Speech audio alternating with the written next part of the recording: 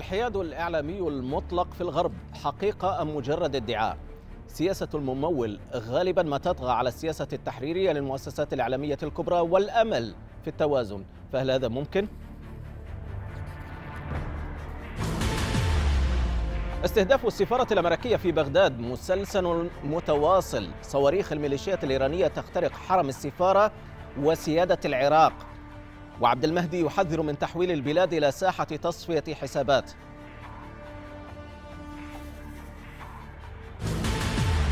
لا جديد سليماني أشعل الحروب في المنطقة خلال طريقه المزعوم إلى القدس. الحرس الثوري يتباهى. تدخلنا في قمع الاحتجاجات السورية منذ بدايتها عام 2011 ولنا اليد الطولى في تحويلها إلى مواجهة عسكرية.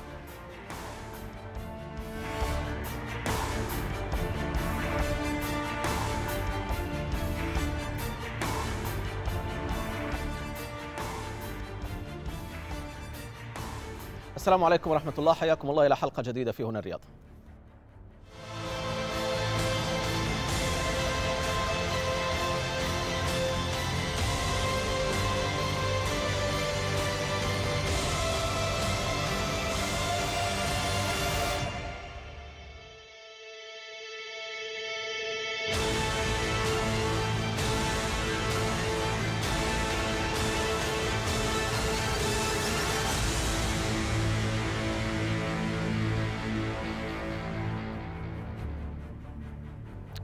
الحياد المزعوم في وسائل الإعلام لا تكاد تراه أو تجده. قد تساعد ظروف معينة في ادعائه إلا أن ظروفا أخرى ما تلبث أن تكشف الأقنعة وتوضح بجلاء أن مجرد الادعاء لا يجعله موجودا. جيف بيزوس وبعد أشهر من انفصاله عن زوجته ادعى أن هاتفه اخترق ومن السعودية. وكما يقول مارك توين فإن الكذب يطوف العالم قبل أن تلبس الحقيقة حذاءها.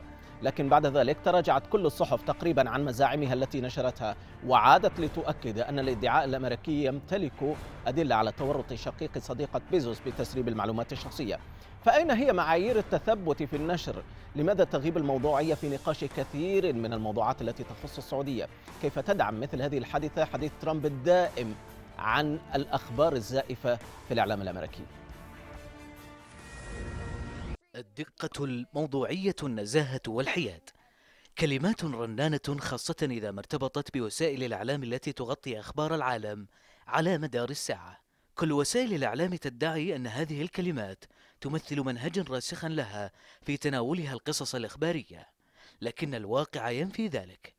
السعودية مادة دسمة لوسائل الإعلام الغربية. تتصدر العناوين مع تصاعد الأحداث وإن لم تكن هناك قصة تستحق أن تروى فلا بأس باختلاقها. فلا القارئ ولا المشاهد الغربي سيسأل عن الدليل. بدأ تصدر المملكة لعناوين الصحف العالمية عام 1973 بعد إعلان الملك فيصل قطع إمدادات النفط عن الدول الغربية المؤيدة لإسرائيل. ومنذ ذلك اليوم قلما تغيب المملكة عن العناوين الرئيسة لوسائل الإعلام الغربية. وعندما دخل ترامب البيت الأبيض اختار الرياض محطة أولى في جولاته الخارجية لتدفع السعودية ثمنا لعلاقة الرجل المتوترة مع وسائل الإعلام اليسارية تحديدا. انتقاد الشيء وضده. سجن المتشددين تقييد للحرية وإطلاق سراحهم دعم للإرهاب. لتتساءل المملكة على لسان وزير دولتها للشؤون الخارجية عادل الجبير ماذا تريدون؟ سؤال تبدو الإجابة عليه مفتاحا للفهم لكن من سيجيب؟ طالما أن ادعاءات شخصية تظهر بعد أشهر عدة بمسؤولية السعودية عن اختراق هاتف الرجل الأغنى في العالم ودون أدلة لكنها تتصدر التغطية الإخبارية ما يبدو معها موت المئات في حادث طائرة استهدفها صاروخ كان يشق طريقه إلى السفارة الأمريكية خبرا لا يستحق التغطية ولا يؤثر على الأمن الأمريكي والعالمي فضلا عن عشرات الأخبار الأخرى. حتى قصص التجسس بين الدول لم تحظى بتغطية مماثلة. ليعود السؤال ماذا تريدون؟ ومعه أسئلة أخرى عديدة. أين الموضوعية؟ أين النزاهة؟ وأين الحياد؟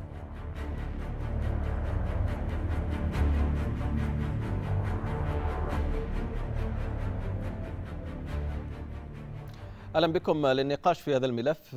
معنا على الهاتف من الرياض رئيس قسم الإعلام بجامعة الملك سعود الدكتور علي العنزي من واشنطن عبر الأقمار الصناعية. ينضم إلينا الباحث السياسي في معهد واشنطن للسياسات الشرق الأدنى دكتور ديفيد بولك ومعه أبدأ. دكتور ديفيد يعني الحياد في الإعلام نعم. هذا مصطلح دائما نسمعه. في في الحالة الأمريكية إذا كان هناك حياد فمن يمثله؟ الإعلام اليميني اليساري أم الجمهوري الديمقراطي أين هو الحياد هنا؟ طيب سؤال جيد. للأسف الشديد نحن في فترة استقطاب. استقطاب في السياسة الداخلية الأمريكية واستقطاب حتى في الإعلام أو الصحافة الأمريكية. نحن لا نرى كما كان على سبيل المثال في سنوات القرن الماضي نحن لا نرى الآن حتى قناة واحدة في التلفزيون أو في الإعلام أو الاتصالات الاجتماعية. نحن لا نرى آه، مصدر آه، موضوعي. أو مصدر بدون حياز لطرف أو نعم. طرف آخر. الحقيقة أنه على سبيل المثال كمان مرة نحن نرى فوكس نيوز يميني وسي ان ان أو ام اس ان بي سي نعم. في اليسار ولذلك الحقيقة إنه كل من يريد أن يعرف الحقائق يجب أن يعمل surfing نعم. المعنى نعم. لازم أن يشوف قنوات مختلفة في نفس الوقت م. طيب دكتور علي العنزي إذا كان آه، هناك آه، ما يؤخذ على آه، دول العالم الثالث بأنه الإعلام يكون موجه حسب سياسة الحكومات في هذه الدول. هذه ربما تهمة لا تنفى وأمر لا يخفى لكن ماذا عن الغرب الذي يدعي بأن هناك حرية في الإعلام وأن هناك سقف عالي وأن المصداقية والحياد هو أساس عمله؟ الشكر لك وللمشاهدين الكرام ولضيفك ديفيد بولك من واشنطن. أهلا بك. بدون شك طبعا مثل يعني ما يتفق الخبراء في الإعلام ليس هناك حيادية 100% وليس هناك موضوعية في في المئة لأن هناك ممولين وهناك حكومات مثل ما ذكرت. فكان الإعلام الغربي دائما يتهم إعلام الدول النامية بأنه متحيز للحكومة، طبعا الاعلام الدول النامية هو إعلام ممول من قبل الحكومة وهذا شيء طبيعي لنشر التنمية في الحكومة، لكن ما يستغرب اليوم هو قضية عدم الموضوعية وعدم الدقة في الإعلام الغربي، طبعا الكل يعرف إن الإعلام الغربي هو ممول من جهات، سواء كانت هذه الجهات هي جهات آه، شركات تمول من خلال الإعلانات. أو يدعم أحزاب سياسية. وهذا ما حصل في الإعلام الأمريكي ومحاولة الصيادة لبعض الأخبار التي تخص المملكة العربية السعودية. نعم. عفوا. نعم. نحن نعلم أن بسبب العلاقة الحاصلة بين المملكة العربية السعودية والاداره الأمريكية الحالية وهناك نوع من التشنج ونوع من العداء بين الإعلام م. سواء كان يساري أو الإعلام الوسطي في الولايات المتحدة وترامب لأن بدأ الإعلام يحاول أن يعيد قوته طيب. بتأثيره على السياسة الخارجية ولكن استخدام ترامب لتويتر ولشبكات التواصل الاجتماعي بدأ يضعف هذه القوة لدى الإعلام الآخر الذي كان يعتمد عليه الرؤساء السابقين. م. ولذلك وضع هذا الإعلام نصب عينه آه، محاولة آه، آه، تشويه إدارة ترامب معاداتها ومن يتحالف معها سواء كان حتى لو من حد أصدقاء أمريكا. طيب دعني دعني دعني أعود لدكتور ديفيد دكتور ديفيد إذا كان هذا هو الحياد لكن من المآخذ أيضا على دول العالم الثالث على الدول العربية بأنه حرية الرأي نوعا ما ليست كما هي مثلا في أمريكا هل حرية الرأي صح. مكفولة في أمريكا؟ هناك مثال آه، عميدة صحفي البيت الأبيض هيلين توماس ربما تعرفها آه، كان هناك حملة نعم. ضدها لسنوات لأشهر لأنها قالت رأيا كان يدعم الفلسطينيين في الأرض هذا بصراحة كاملة هذا صحيح هذا حصل لكن هذا استثنائي بصراحة. نحن نرى على الرغم من الاستقطاب الذي أنا ما قلت عنه من قبل هناك حرية تعبير في أمريكا. ليس مية في المية لكن أنا بقول لك آه تقريبا تسعين في المية. هناك آراء مختلفة هناك مصادر مختلفة. آه. للغاية من اليمين إلى اليسار الأقصى. ولذلك أنا أعتقد أنه آه، حرية التعبير وحرية الصحافة في أمريكا نموذج للعالم بشكل عام نموذج لأوروبا نموذج للعالم العربي ونحن الأمريكان بشكل عام نتفخر أنا أعتقد بشكل حقيقي وصحيح في هذا القيم وهذا الأخلاق وهذا طيب جيد نريد أن نستفيد من هذا النموذج الاجتماعي دكتور ديفيد كان هناك حادثة نعم خلال الأيام فضل. الماضية وهو انه جيف آه، بيزوس قال بأنه اخترق هاتفه المحمول واتهم السعودية صراحة صح. بهذا الأمر آه، نعم. حرية نعم. الرأي نعم. ربما كان سنعود لتفاصيل هذه القضية ولكن كان هناك على تويتر من دعا إلى مقاطعة نعم. أمازون باعتبار ملكها جيف بيزوس تويتر تدخل هنا نعم. وأوقف حساب من دعا لهذا حرية رأي تعتبر أوقف حسابه وأوقف الهاشتاج أيضا يعني أليس ألا يؤثر هذا على حرية الرأي التي نريد أن نستفيد منها من نعم أمريكا؟ بدون شك. آه، هذا نوع من التحديد لحرية التعبير. هذا صحيح. لكن الجدير بالذكر أنه تويتر شركة خاصة وهناك شركات أخرى كفيسبوك وال الاتصالات أو المواصلات الاجتماعية بشكل عام. الذي غير موالية لتويتر وغير محدودة بهذه الإجراءات. أنا وأنا لا أتفق مع سياسة تويتر أو سياسة فيسبوك كل المرات أو في كل الحالات لكن أنا أؤكد وأكرر أنه أنا آه، أعتقد أنه حرية التعبير في أمريكا 90% على الرغم من هذه القضايا الاستثنائية والصعبة آه، وأنا أعترف بأنه نحن غير متكاملين ليس ليس هناك أحد كامل. نقدر لك هذا الاعتراف نسبيا الوضع في أمريكا جيده جدا. نعم. طيب دكتور علي العنزي هناك مشكلات تبرز في موضوع القصة الإخبارية التجزيء عزل القصة الإخبارية عن باقي تفاصيلها التنميط صورة العرب صورة آه، العرب مثلا في الإعلام الغربي هي صورة موحدة نمطية رسمت على مدار سنوات عدم الدقة في اختيار الخبر التعميم دائما والتحيز. برأيك كيف أسهمت كل هذه الأمور في عملية آه، أن تكون الأخبار عن العرب عن المملكة العربية السعودية مثلا في وسائل الإعلام الغربية نوعا ما مضللة للرأي العام هناك.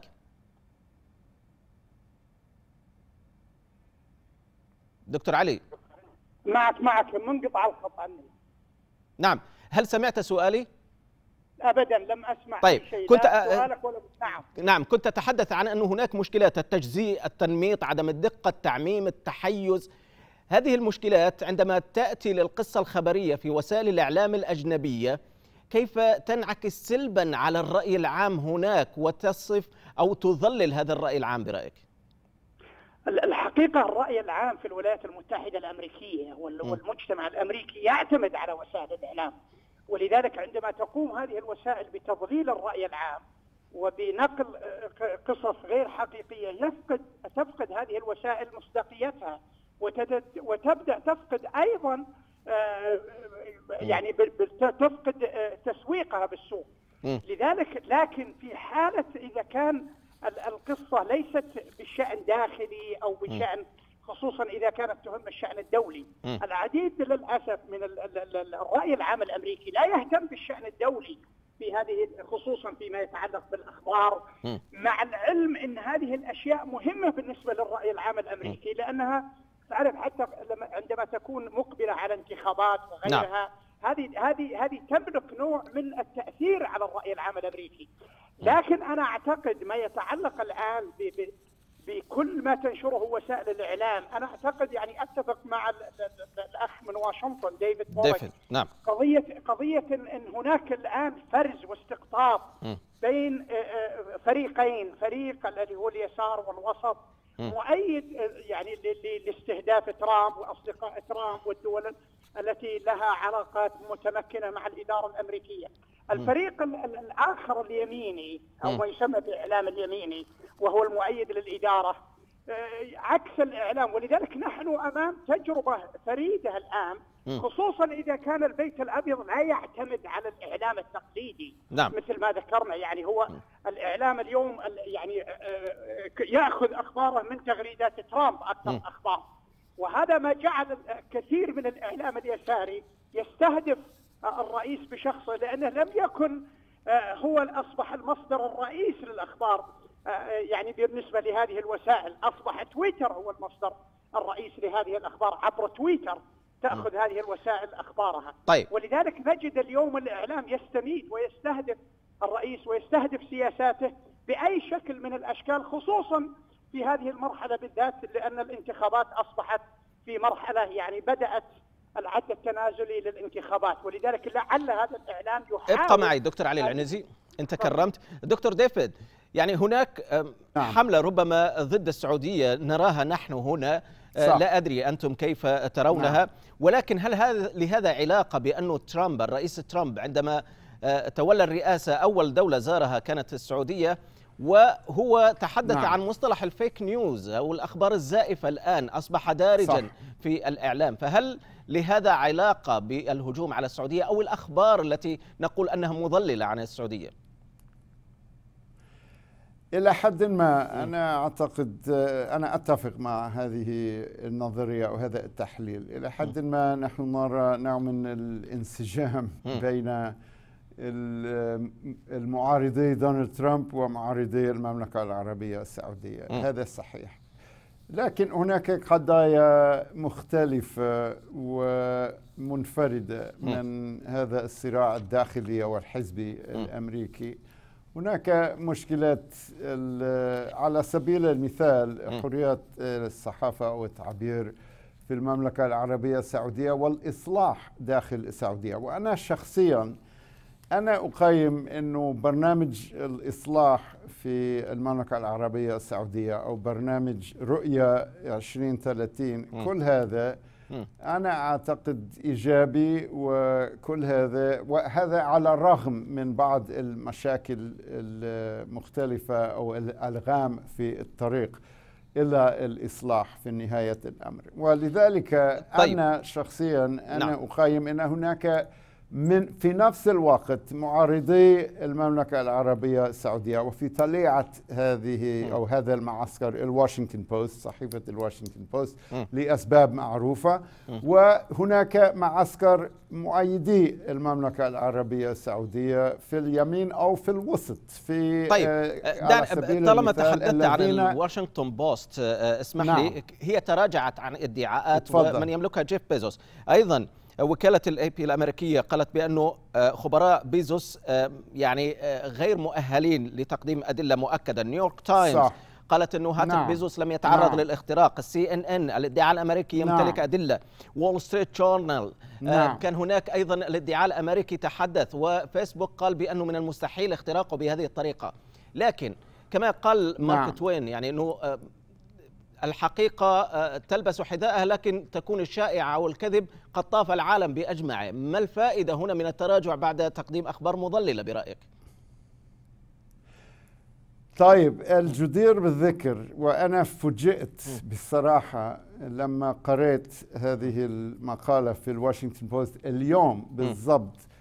اليوم هناك editorial المعنى إنه مقالة من قبل رئيس التحرير أو فرقة التحرير في الواشنطن بوست نفسه الذي يعترف بأن تفاصيل هذه القصة غير واضحة. وليس هناك دلائل التي تثبت على مصدر ما حصل للهاتف جيف بيزوس.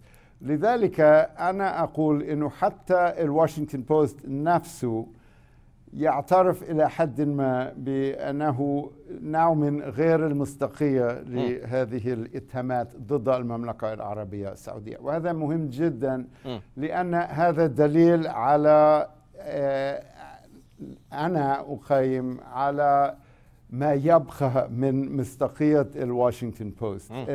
هو الواشنطن بوست نفسه اعترف بأن هناك مجال لأخطاء. في هذا المجال وهذا مهم جدا وهذا أنا أعتقد لصالح الصحافة الأمريكية بشكل عام طيب. والواشنطن بوست حتى الواشنطن بوست وأنا ليس لست من مؤيدي الواشنطن بوست لكن جدير بالذكر أنه هذا نوع من الإعتراف النبيل أنا أعتقد. هو نحن نعترف ان هناك أخطاء في العمل الإخباري على مدار الساعة لكن المكابرة الإصرار على هذا الأمر. دكتور علي العنزي إلى أي مدى برأيك يلعب رأس المال الممول لأي مؤسسة إعلامية دورا في سياساتها على غرار باقي المحطات في دول العالم الثالث يعني؟ أعتقد في في في العالم الغربي يلعب دور كبير رأس المال والإعلانات والتمويل. في الحقيقة الإعلام الأمريكي ودعني أعود إلى الوراء كان يلومنا في السابق بأن عندما يطلب أي معلومة أو أي مقابلة مع أي مسؤول آه، اما يرفضون أو تأخذ سنين.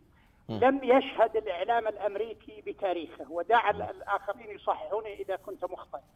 أن هناك مسؤول قابل الإعلام الأمريكي وعمل مقابلات معه مثل ما عمل الأمير محمد بن سلمان. آه، آه، قبل عمل مقابلات مع السي بي اس ومع نيويورك تايمز ومع الواشنطن بوست ومع بلومبيرج كل هذه الوسائل كل هذه وسائل الإعلام عملت معه مقابلات فأين المشكلة اذا دكتور علي؟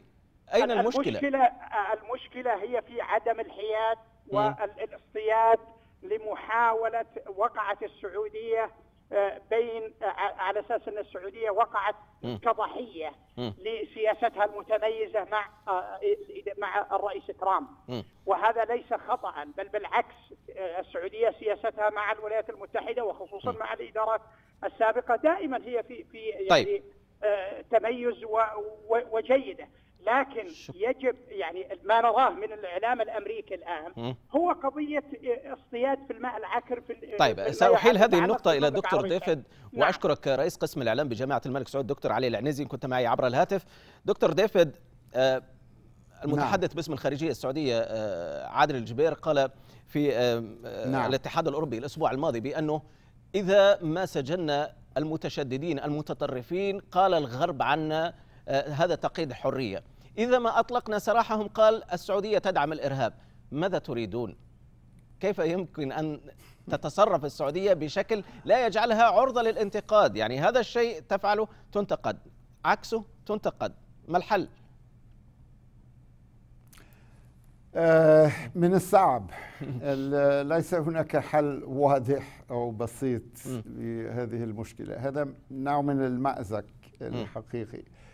وهذا آه، أنا أعتقد نموذج لنوع من التخبط في التقييم الأخلاقي في العالم. آه، ليس في العالم الغربي فحسب بل في العالم كله. الآن لأن نحن أمام تحديات جديدة غير مسبوقة بالنسبة لرغبة الشعوب ووسائل الإعلام والمشاكل العالمية الاقتصادية والاجتماعية وحتى العلمية. أو بالنسبة للبيئة على سبيل المثال. لذلك ليس مفر من التناقضات أو من الانتقادات مهما كان السلوك والجواب الأحسن أو الأفضل حسب رأيي الشخصي هو الاستمرار في التصرف الصحيح ما يسمى بالإسلام صراط المستقيم صراط المستقيم المعنى أنه طيب. بغض النظر بغض النظر بدون طيب. اعتبار لكل هؤلاء الذي ينتقدون م. هذا التصرف وهذا السلوك طيب. لأسباب مختلفة منحازة ربما مفتعلة لأهداف آه طيب سأعود لك دكتور ديفيد. وهذه الأسباب المفتعلة آه، ينضم إلينا الآن عبر الهاتف أيضا الأستاذ الإعلام السياسي في جامعة الإمام دكتور عبد الله العساف. دكتور عبد الله العساف استمعت إلى ما قاله ضيفي من واشنطن. لكن لماذا السعودية دائما مادة دسمة على موائد الصحافة الغربية على محطات التلفزة الغربية منذ العام 73 عندما قطعت النفط عن الدول الغربية على خلفية الموقف من دعم فلسطين؟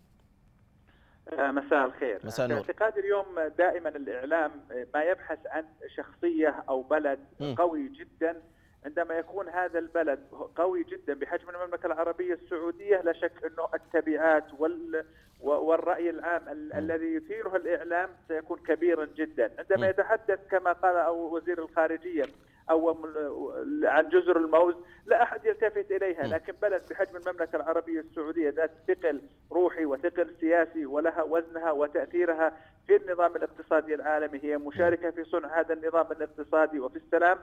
أيضا ارتباطها بالرئيس الأمريكي إذا اردنا نتحدث عن شيء قريب الرئيس الأمريكي ترامب وغيره من الرؤساء الأمريكان لا شك أنه هذا الإعلام يتجه دائما إلى الحلفاء ويتجه فقط إلى المملكة العربية السعودية بصفتها الدولة الكبيرة والرائدة في الشرق الأوسط. دائما عندما تريد أن تؤثر أو تصنع موضوعا عليك أن تختار شخصية كبيرة بحجم المملكة العربية السعودية حتى يكون لوقع تأثيرك ووقع كلامك صدى كبير جدا بحجم هذا الشخص المستقصد أو أو البلد المستقصد في إعلامك.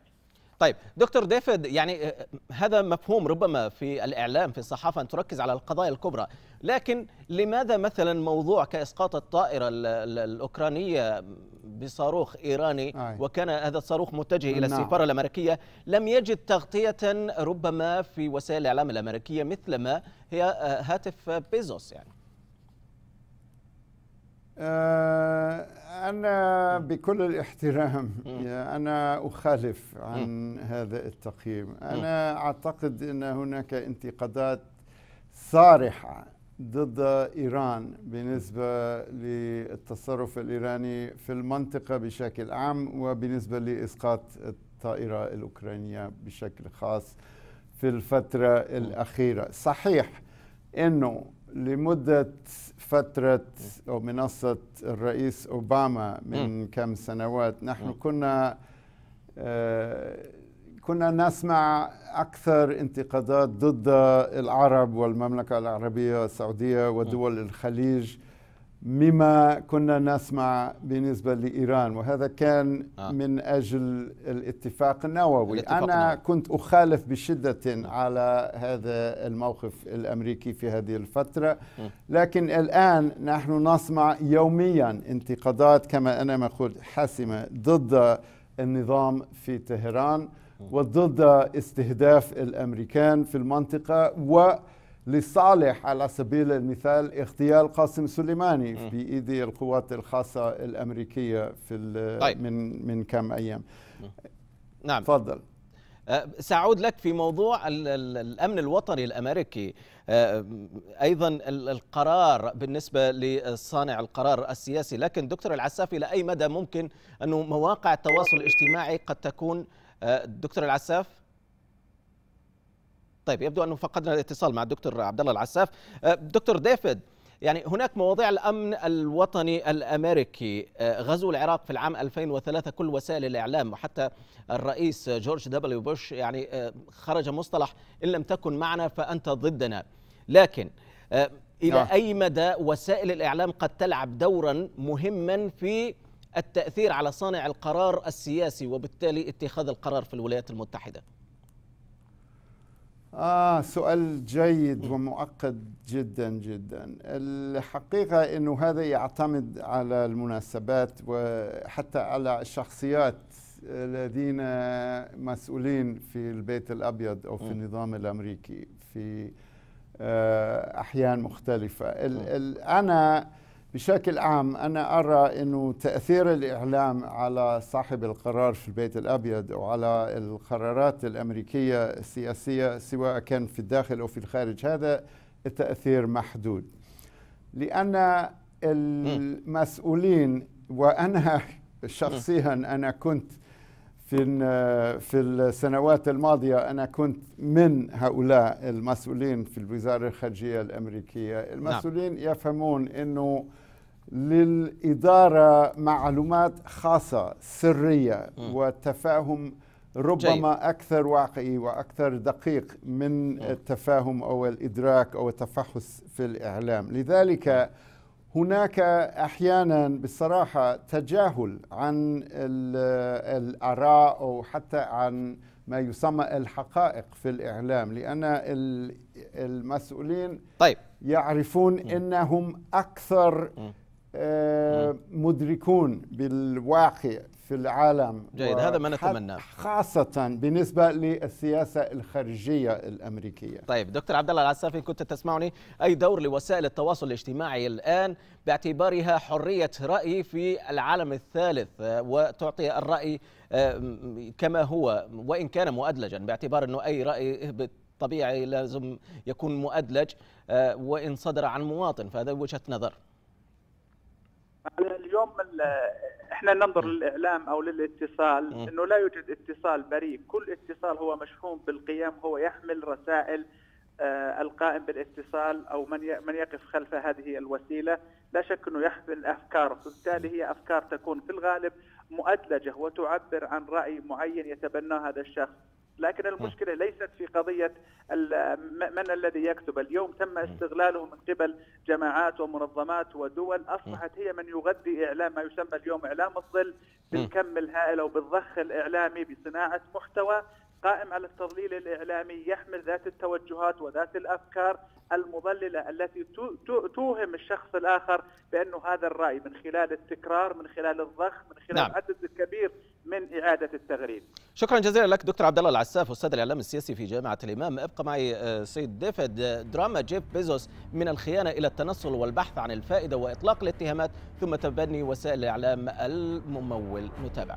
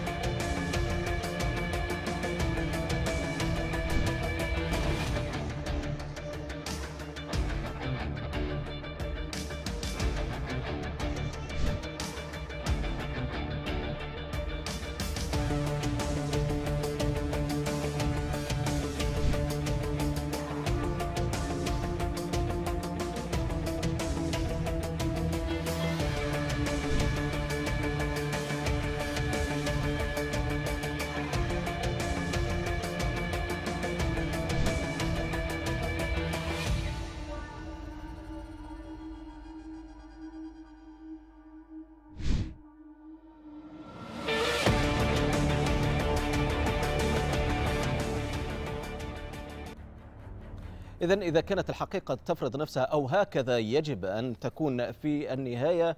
آه، ربما قصة جيف بيزوس وصلت إلى نهايتها ولكن آه، آه، الحقيقة أو الحياد في الإعلام ربما هو مصطلح يشبه الغول والعنقاء والخل الوفي لا وجود له. ابقى معي رجاء دكتور ديفيد بولوك. نتحول للنقاش في ملف آخر بعد قليل. ابقى معي.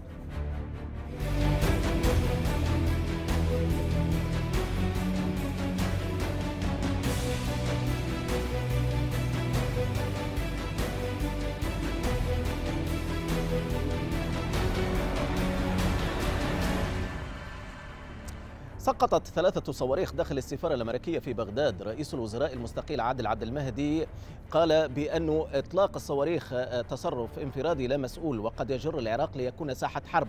وحتى الآن لم تتبنى أي جهة المسؤولية عن هذا الهجوم. فكيف سيكون الرد الأمريكي؟ هل فشل المظاهرات ضد الوجود الأمريكي هو ما أعاد الهجوم على السفارة مجددا؟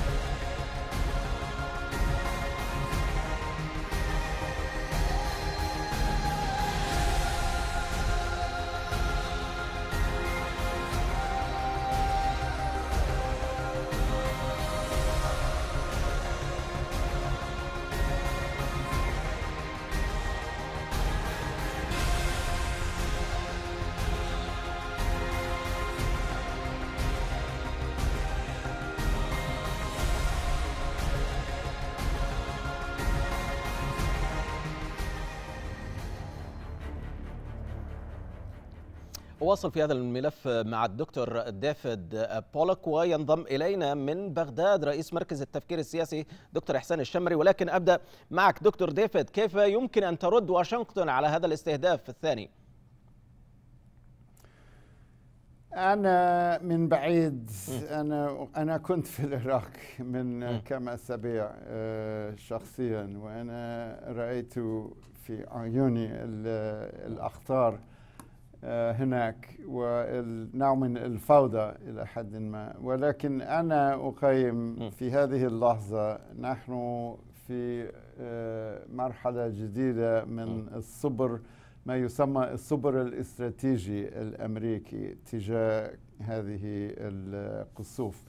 أنا أعتقد أولا المسؤولية في إيدي العراقيين والقوات الأمن العراقية في المكان الأول للدفاع عن السفارات وللدفاع عن الضيوف في هذا البلد.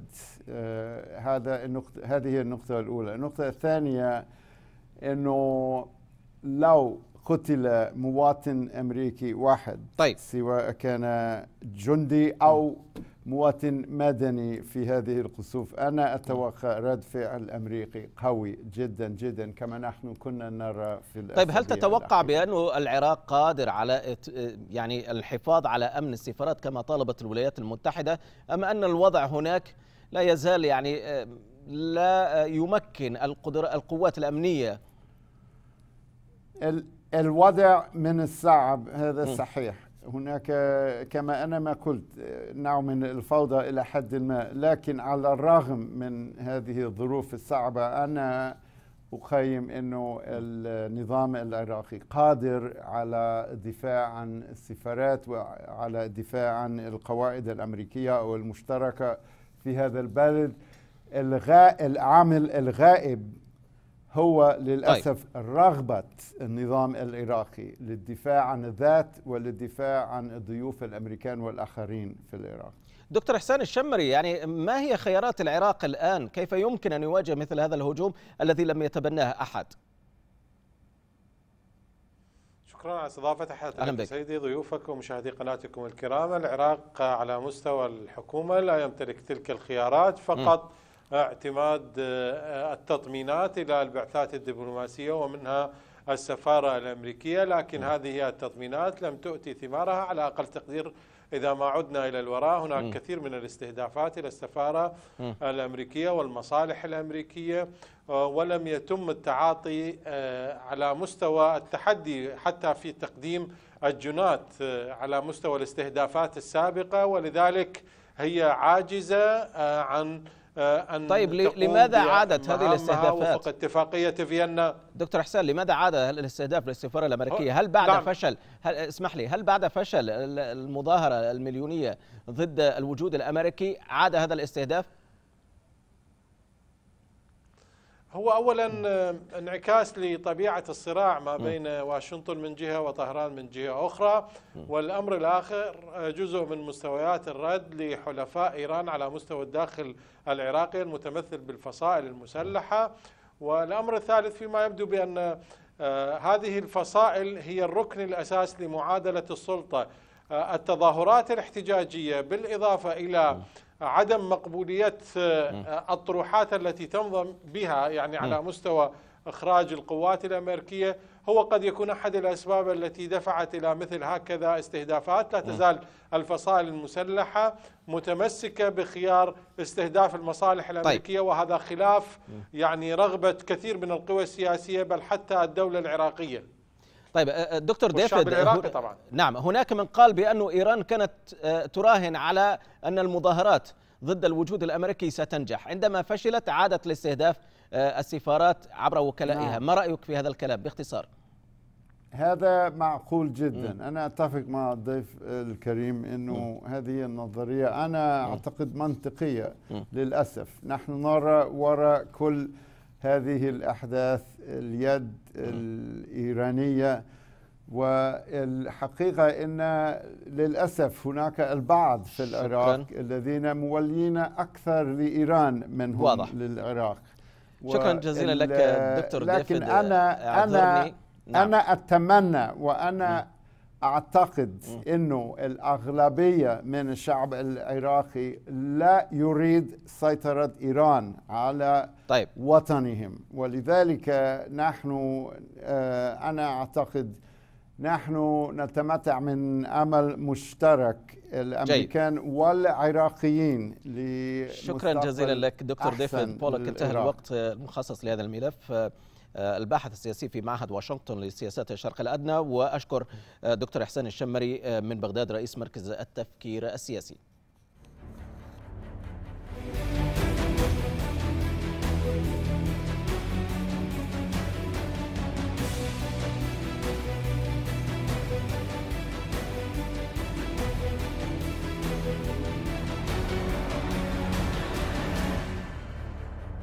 أقر اللواء عبد الله آه، أيوب علي عبد الله أيوب وزير الدفاع السوري بتورط الجيش الإيراني في قمع الاحتجاجات ضد نظام الأسد كما أقر باستعانته بسليماني ليساعده في وضع خطة لقوات الأسد لاستعادة منطقة باب عمرو.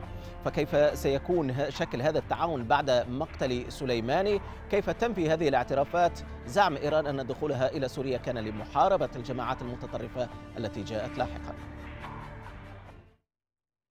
طويت صفحة قاسم سليماني قائد فيلق القدس الإيراني لا بل حرقت على يد الطائرات الأمريكية في بغداد لكن هذه الصفحة تمخض عنها الكثير من العبر.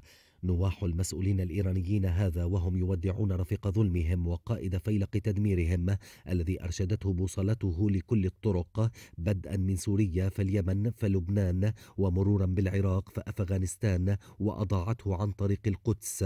قابله مشهد آخر عم البلدان التي تجرعت سم طغيانها فها هم العراقيون وقد خرجوا بشيعتهم قبل سنتهم مدلين بشهادتهم أمام التاريخ فرحا بمقتل سليماني. وها هم السوريون وقد وزعوا الحلوى بعد سماعهم خبر الرجل.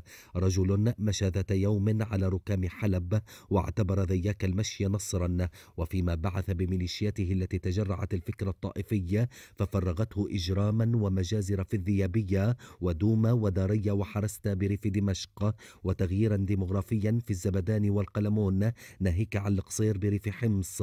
اختتم الرجل مشهد إجرامه في سوريا بقصف ودمار بريف اللاذقية وتنسيق كان هو عرابه بين ميليشيات شيعية في البوكمال وأخرى تتبع للحشد الشعبي بالعراق. لتبقى صورة العملة السورية التي وجدت بجيبه لما لفظ نفسه الأخير خير شاهد وخير دليل. وفيما منح وزير الدفاع السوري وسام بطل الجمهورية للمقبور واعترف بتدخله وتخطيطه لتدمير حمص كشف تقرير صادر عن وكالة أنباء فارس عن دور إيراني بسوريا منذ بدء الاحتجاجات لا بعد عام ونصف من انطلاقتها. دور يقول السوريون إنه يستحق فعلا وسام بطل جمهورية الأسد لا سيما أنهم ما زالوا يصطلون بناره في حرب كان لنظام قم ولسليمانها الدور الأبرز بإشعال فتيلها. للإخبارية علي تباب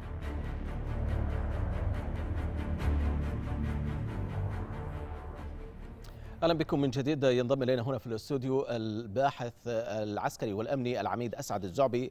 أهلا بك سعادة العميد. يعني لأول مرة اعترف الحرس الثوري الإيراني بمشاركة الذراع الخارجية فيلق القدس في قمع احتجاجات سوريا منذ البداية. هذا ينفي تماما انه أتى لاحقا لمحاربة التنظيمات الإرهابية. بسم الله الرحمن الرحيم. مساء الخير لك وللساده المشاهدين. يعني اولا هذا ليس التصريح الأول. هناك كثير من التصريحات ويكفي أن نقول عندما تحدث الملالي قال أن نحن نسيطر على عواصم وذكر منها دمشق أو سوريا. هذا يثبت تماما القضية ليست قضية بحث عن مقامات ودفاع عن مقامات أو قتال الإرهاب إنما هي القضية قضية سيطرة. وقال نحن نسيطر على أربع عواصم عربية ومنها دمشق أو سوريا. عندما يعني تحدث كثير من الفيديوهات خرجت تثبت وجود قاسم سليماني سواء كان بالمجزرة التي ارتكبوها في جديدة الفضل. أكثر من 800 شاب حرقوا حرقا. والمجزرة التي ارتكبت في دارية والتي تعتبر يعني مجزرة يعني طرق القتل التي استخدمت فيها في قطع الرؤوس في قطع اليدين في الحرق لم يشهد لها التاريخ مثيل في أكثر من 1600 شاب طيب هذه هذه كان مشرف عليها قاسم سليماني. يعني عندما يقول وزير الدفاع السوري بأنه استعان بسليماني ليساعده على وضع خطط لاستعادة منطقة باب عمر آه، في بداية الانتفاضة ثاني أكبر المدن في البلاد. ولاحقا استمرت هذه الخطط يعني هذه الجرائم كلها ببصمة إيرانية إذا يا سيدي الكريم اولا إيران وجدت عسكريا في سوريا من عام 2002 2003 وقامت بتطوير كل مقرات القيادة والمراكز ووضعت لنفسها في كل مركز كان هناك مكتب إيراني كنت أزور هذه المراكز بحكم عملي بكلية. فاتفاجئ في كل مركز قيادة كان كان تتم عملية تطوير إيراني يوجد مكتب خاص بالإيرانيين. هذا يعني أن هناك كانت نية حقيقية مبيتة للاستقرار والاستمرار في سوريا. ولذلك عندما عندما يتحدثون أن إيران شاركت في قمع المظاهرات أقول لك من اليوم الأول وربما قبل اليوم الأول كانوا الإيرانيين موجودين. وكانت يعني كانت هناك كثير عراب من عراب هذه الاتفاقيات عراب هذه المساعدات والخ الخطط هو قاسم سليماني الآن بعد رحيله كيف سيكون شكل التعاون برأيك؟ سيكون أكثر وساخة لأن قاسم سليماني ليس قاسم سليماني واحد في إيران م. كل نظام الملالي هم قاسم سليماني كلهم مش يعني مشتركين في الإجرام وكلهم يتسابقون في في قضية الإجرام. انظر إلى إدلب اليوم. هناك إجرام إيراني حقيقي يمارس حقيقة ضد المدنيين في إدلب. نعم. يعطيك صورة واضحة عن هذا عن هذا النظام الإيراني الذي لا يؤمن إلا بالقتل ولا يعرف طريقة قتل عم يمارسونها هي خارج مستوى البشرية. هم وحوش حقيقة لا لا يدركون إلا قضية قتل وثأر وكأن هناك ثارات. ولذلك يعني عندما تحدث حتى حسن نصر الله عندما قال قال نحن دخلنا لحماية المراقد ثم قال نحن دخلنا لأن طريق القدس يمر من حلب وحمص. ثم قال نحن دخلنا لمقاومة لولا دخولنا لكانت داعش في بيروت رغم أن داعش ظهرت عام 2014 بعد دخول حزب الله على سوريا بأربع سنوات. إذا هذه يعني هذه الأسطورات أو هذه العبارات الكاذبة هذا ما تعودنا عليه منهم يريدون تحقيق هدف واحد ألا وهو السيطرة القتل الدمار طيب الهيمنة ماذا نفهم الآن عندما يكون هناك إقرار وحتى وإن كانت معلومات مسربة آه، لاحقا آه، من وزير الدفاع السوري بمسؤولية قاسم سليماني وإيران هل نحن أمام آه، رمي للتهمة للطرف الآخر وتبرئة النفس أم ماذا؟ لا يمكن تبرئة النفس يعني هم أولا أعتقد بدأوا يشعروا أن هناك في تضييق على هذا النظام وكل من يدعمه وخاصة إيران. يعني الضربة التي وجهت لإيران باغتيال قاسم سليماني ليست ضربة خفيفة وبالتالي كل من هو مجرم عند النظام بدأ يعني كما يقال يضع يده على رأسه وكأنه يعني القبعة لن تحميه وبالتالي سيأتي دوره. من هذه المنطلق هم يحاولون كما يفعل بشار الأسد عادة كان يفعل بشار الأسد كل من ينفذ أي جريمة يتخلص منه حتى لا يكون شاهدا عليه. وبالتالي إذا النظام النظام السوري اليوم يريد أن يتخلص من قاسم سليماني ومن آثاره ليقول نحن لسنا ليس لنا علاقة. من كان يمارس هذا الإرهاب والقتل في سوريا إيران. من جاب إيران؟ من أتى بإيران؟ ألم يصرح بشار الأسد؟ لن نتخلى عن إيران لن نريد إيران. وبالتالي هذا الاستمساك وهذا التماسك مع إيران والذي قيل عنه أنه من اليوم الأول أقول لك تماما أكثر من 12 ألف إيراني كانوا موجودين في سوريا لتطوير خاصة صناعة الصواريخ التي إلى الآن إلى الآن كلما ضرب مركز بحث علمي للصواريخ يسارعون إما لتجديده أو لإنشاء مركز صواريخ آخر فلا يهتمون إلا بالسلاح والقتل في سوريا. طيب دعنا نتحدث عن ما حصل في إدلب الآن. نعم. هناك قائد لواء فاطميون ميليشيا أفغانية شيعية أنت تعرف ذلك آه، ومنضويه تحت لواء آه، فيلق القدس. قال بأن سليماني أعطاهم تعليمات بخصوص استراتيجية طويلة الأمد لخمس سنوات قادمة وأن موته لن يؤثر على تنفيذ هذه الاستراتيجية. هل نفهم بأنه ما يحصل الآن في إدلب هو امتداد لهذه الاستراتيجية وربما الوضع سيتطور حتى خمس سنوات قادمة؟ هذا مخطط له منذ أمد طويل وبالتالي نحن أمام أيضا كما تفضلت نحن أمام تاريخ من الإجرام للأمام يعني للقادم قابل الأيام. قابل الأيام سيعطينا أيضا صور أخرى للإجرام. عندما يتحدث لواء فاطميين أو زينبيين كل هذه القادة هم تربية قاسم سليماني تخريج مدرسة قاسم سليماني الذي بدوره كان تخريج قاسم مدرسة الخميني والخامنئي. ماذا يختلف أحد مع الآخر؟ لا يختلفون إلا بس بالتسابق بالمزيد في ممارسة القتل على الشعب السوري وعلى الشعب العراقي وعلى الشعب اليمني وعلى كل الشعوب العربية. يعني هذا ما خططت له ما يسمى الثورة الإيرانية. هذه قضية يعني الاستيلاء على المناطق تزعزعة أمن واستقرار المنطقة تدمير المنطقة قتل أهل المنطقة ولا أريد أن أتحدث يعني بالطائفية أقول سنة أو عرب أو مسلمين أبدا لكن هذا الشعار الإيراني الذي طرحته ما يسمى بين قوسين ماذا ستأخذ إيران إذا كان وزير الدفاع في زيارته إلى طهران في 13 آه، من يناير آه، الجاري آه، بعد مقتل سليماني منحه وسام أعلى وسام شرف في سوريا بطل الجمهورية العربية السورية وقال أوصلوه لعائلته. فماذا ستأخذ إيران آه، من سوريا؟ إذا كان سليماني أخذ هذا الوسام فقط. طبعا هذا الوسام هو أعلى وسام يمنح في سوريا طبعا ربما آه، يعني لم لم يحصل عليه السوريين حتى خلال فترات الحروب إلا أعداد قليلة على اعداد الأصابع. ولذلك قاسم سليماني أنجز في سوريا قتل كثير من السوريين ومن يقتل السوريين يعطيه مباشرة بشار الأسد هذه الجائزة. أذكرك يعني أذكر السادة المشاهدين بأنه قبل أربعة أيام كان هناك اتفاق ما بين إيران والنظام اتفاق في وزارة التعليم من أجل أن يتم تصحيح المناهج السورية بما يتوافق مع المناهج الإيرانية وخاصة فيما يتعلق بقضية التربية الإسلامية. اذا ما زالت إيران تتغلغل في سوريا وما زال النظام يفتح ذراعيه آه، يعني واسعا من أجل احتضان إيران أكثر في سوريا. وبالتالي عندما يتحدث آه، يعني آه، علي أيوب بالتأكيد هو يريد أن يبعد تهمة الإجرام عن نفسه ولكنه غارق يعني كما يقال غارق يديه في الإجرام إلى إلى أعلى رأسه. هل تعتقد بأن هذا التوغل الإيراني والسيطرة حتى على المناهج في سوريا سيستمر مع هذا الحصار على إيران؟ ومع بعد مقتل سليماني الرسالة كانت واضحة ربما.